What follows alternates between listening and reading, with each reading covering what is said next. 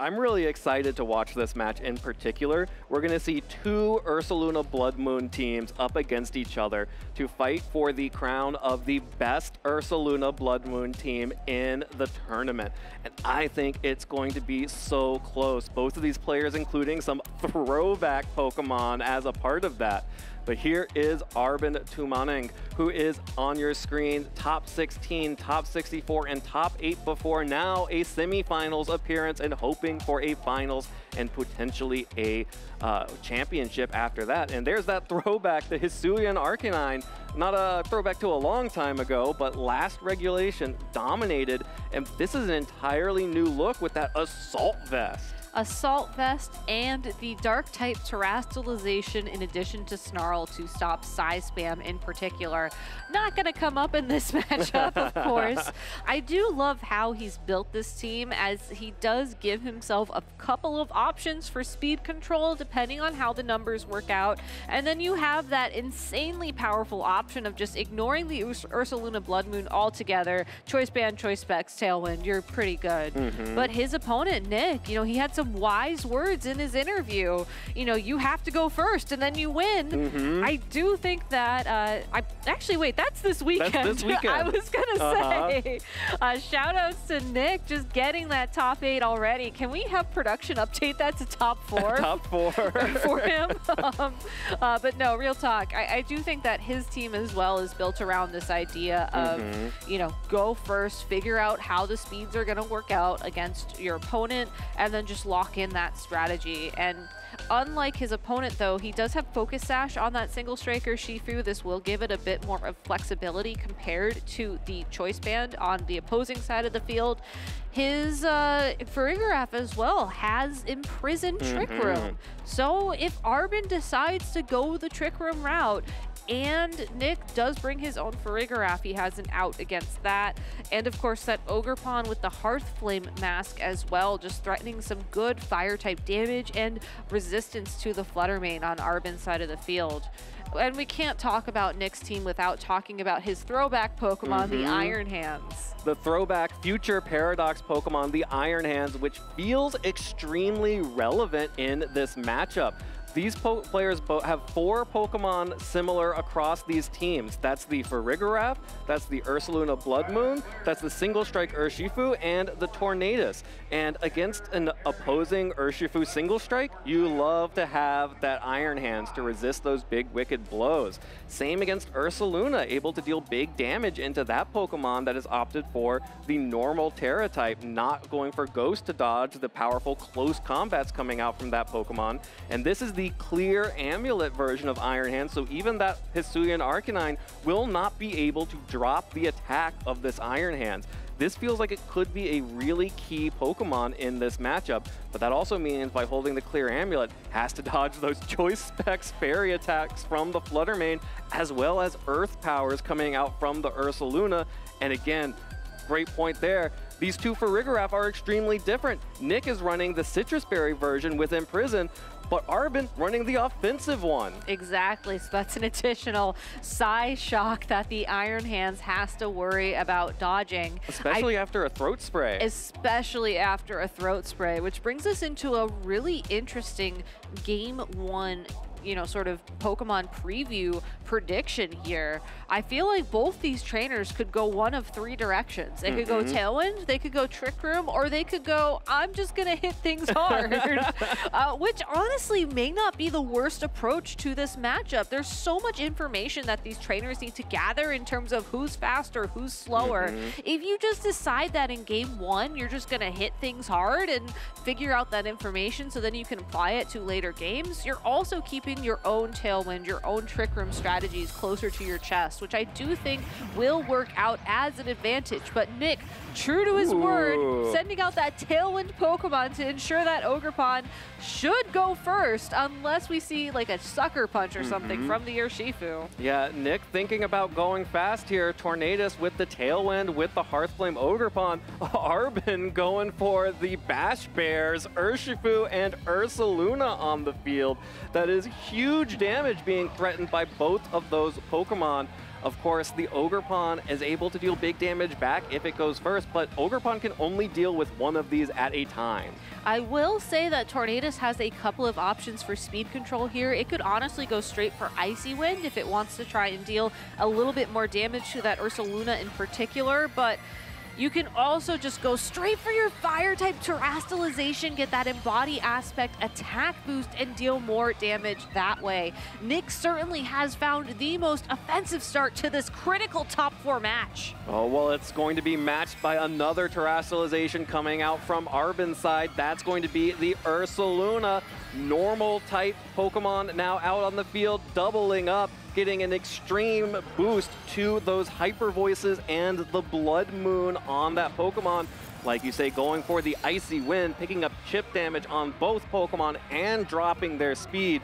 This Hearth Flame Ogerpon will get a chance to fire back. It's a Wood Hammer into the Urshifu. Did not lock into Sucker Punch, picks up that KO after the Icy Wind but now it has to take this hyper voice coming out from the Ursaluna, and after the recoil, this is probably big damage to both of those. Pokemon. Picks up a KO on Ogerpon and almost one-hit KOs the Tornadus. Critically, though, that Tornadus is able to hold on, and with the lack of in extreme speed as we know it in this matchup. There is no opportunity for this Tornadus to not set up Tailwind if that's what Nick decides he wants. And I think that's exactly why we see Arbin swap in that Farigiraf. Mm -hmm. If you can catch your opponent going for a Tailwind and you go for Trick Room, that is absolutely huge. There's also the possibility for Arbin to go for a Helping Hand to just boost that Ursaluna's damage damage even further, as Nick has a tough decision to make here. His single Strike Urshifu can only attack one Pokemon. Mm -hmm. If you're worried about Trick Room being set up, you go for the Wicked Blow into that Farigiraf, and you add some additional damage from that Tornadus on top of it with a Bleak Wind Storm. Ooh. But if you're worried about your opponent dealing damage, you have to consider the knockout on the Ursaluna, and that's exactly what Nick does. Goes for the knockout on the Ursaluna after good damage from the Bleak Wind Storm on both the Farigiraf and the Blood Moon Ursaluna that will drop the defenses of the single strike Urshifu on Nick's side, but with the focus sash, it does not care. It is not being threatened with a one-hit KO at all. The hyper voice coming out from Arbin's Farigiraf will take up the pickup, pick up the KO on the Tornadus and activate the Throat Spray and bring that Urshifu down to uh, one more hit from either this Flutter Mane or the Farigiraf if it has the option. And here is the Iron Hands on the switch-in. Oh, ah, that is so unfortunate that Nick opted to go for Bleak Storm that previous turn as now this Flutter Mane, assuming it is as fast as it can be, should be able to outspeed the Urshifu on the opposing mm -hmm. side of the mm-hmm. field. You can't Sucker Punch as long as that Armor Tail ability is active as well. So this seems like a very simple Helping Hand Fairy type attack Urshifu trying to withstand it, but without an Assault Vest on that Iron Hands, this might be a knockout for that Pokemon. Yeah, there's no Terastallization, but there's no Assault Vest on the Iron Hands. The oh Dazzling Gleam goodness. almost picks up the KO and oh. is faster than the oh! Picks up the one-hit KO on Flutter Mane with the heavy slam. That Pokemon is off the field. Iron Hands is still here. Farigiraf not going for a Trick Room, goes for a Hyper Voice. That will pick up the KO on the Iron Hands, but Urshifu now is staring down the long neck of the Farigiraf, ready to fire off a Wicked Blow. That is incredible training from Nick, knowing that if Arbin went for that Dazzling Gleam, the Iron Hands had enough bulk to take that hit and return a KO with Heavy Slam. Had that turn played out any other way, Arbin would have found the opportunity to win this game, but Iron Hands, one of the bulkiest Pokemon in the previous regulations for Scarlet and Violet, showcasing that it is not quite out of the metagame just yet. Who needs Assault Vest if you're an Iron Hands? This Pokemon is still good, especially on these Trick Room teams. And that Icy Wind drop, the Bleak Wind Storm drops becoming huge to make sure that that Iron Hands could go first and defeat that Farigiraf huge moments here from the Iron Hands, those like mixed trick, Tailwind Trick Room Pokemon, you never quite know what's going to happen. Exactly, and I think this just goes back again to Nick's interview. You want to go first, you want to go fast, and you know, I think going into the previous regulations, people either ignored the Iron Hand mm -hmm. speed entirely or opted to not train it in speed. You know, maybe find one of those no good speed Iron Hands to be mm -hmm. as slow as physically possible possible. But Nick opting to probably at least invest a little bit in speed. Yeah, maybe okay speed. An okay speed, yeah. To ensure that after an icy wind, after a bleak wind storm speed drop, or even just a tailwind, the Iron Hands would be able to outspeed key Pokemon like Farigiraf to lock in the knockout. That is great preparation from Nick. And I think going into game number two, it's probably very tempting for Arbin to fall back on that Trick Room mode as mm -hmm. it seems like he just did not have the speed to match Nick. Absolutely, especially with Nick showing that he was more than willing to just click Icy Wind, click Bleak Wind Storm, and have this potential Tailwind mode. So at any moment, Nick could decide to turn up the heat. Arbin sees the Tornadus Urshifu lead and matches with his own. But here we see some of the major differences between these two teams. Arbin running the Air Slash Tornadus instead of the Bleak Wind Storm, running the Choice Band Urshifu instead of the Focus Sash. So a lot of actually small issues here for both players.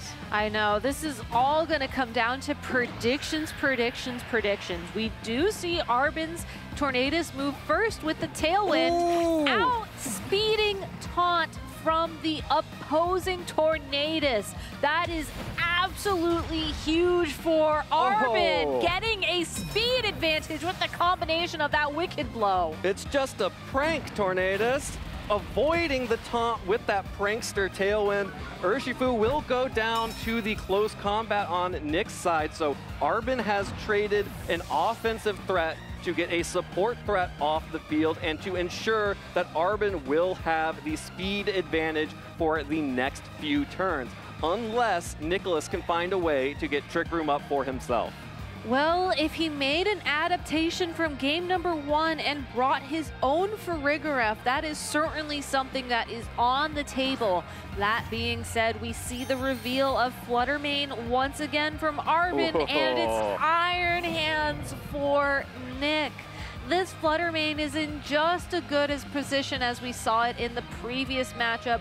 Could even possibly terastallize a turn later when Fake Out is no mm -hmm. longer a threat to deal even more damage with those dazzling gleams.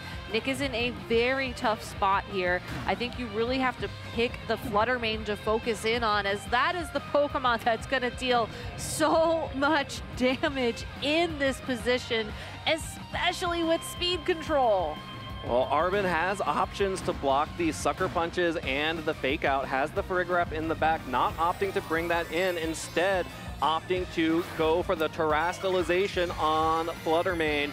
Going to be Fairy Tera, trying to boost the power of this Fluttermane's Fairy type attacks.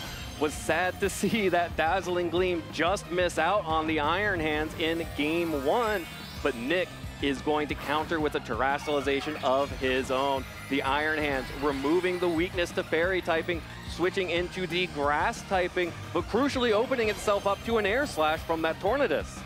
This is a tough prediction to make. We do see another adaptation from Arbin. Moonblast into the Iron Hands. it's oh, not it's enough. The same damage. Not enough damage to pick up the one-hit KO on the Iron Hands. Tornadus has to finish it off with the Air Slash, which fortunately connects but now Iron Hands is down, and this Urshifu gets to fire off a free attack. A wicked blow connects onto the Tornadus, and Nick says, oh, you think only your Choice Band Urshifu can pick up that one-hit KO? My Focus Sash can do it too. That's actually good information. I mean, thinking back to the Rapid Strike Urshifu, those uh, Surging Strikes didn't necessarily get that knockout, but we do see a final adaptation here for Nick, bringing the Ogerpon as his final Pokemon against the Farigiraf again from Arbin. Urshifu, yes, it did get a knockout on that Tornadus, but I do wonder if the Farigiraf being on the field is more advantageous for Arbin right now, as he can block sucker punches from the Urshifu. He can choose to boost the damage of that Flutter Mane even further with an helping hand. Uh, but, you know, Flutter Mane is locked oh. into Moonblast, which might work out to Nicholas's advantage. Ooh. Ogerpon took that somewhat comfortably. Ogerpon took a good amount of damage, but not quite enough for a one-hit oh. KO and survives the Hyper Voice. Oh, Without man. the Throat Spray, Arbin can't pick up that KO, and Nick absolutely refuses to protect this Urshifu. Ogerpon fires off an Ivy Cudgel into the Farigiraf, just barely misses the KO there, and there is the cleanup crew oh. from Urshifu. A critical hit into Farigiraf, and this Flutter Mane is locked into Moonblast. It can only deal damage to one of these Pokemon at a time. What a tough call to make there with the Farigiraf. Do you go for a Helping Hand damage boost, or do you hope that Hyper Voice is going to deal enough damage to close the game out.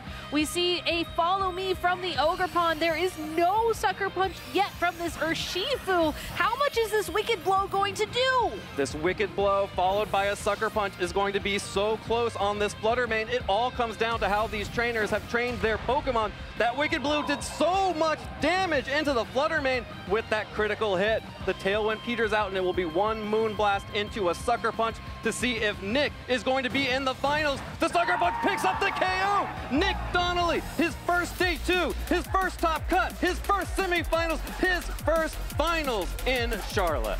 Congratulations to Nick proving definitively if you can move first, you're going to make it all the way to the end. That was such an incredible end game from Nick, recognizing that the Wicked Blow with the Sucker Punch together would be enough to knock out that Flutter Mane and showcasing why I think Focus Sash mm -hmm. is mm-hmm. such a good item on the single strike Urshifu in particular.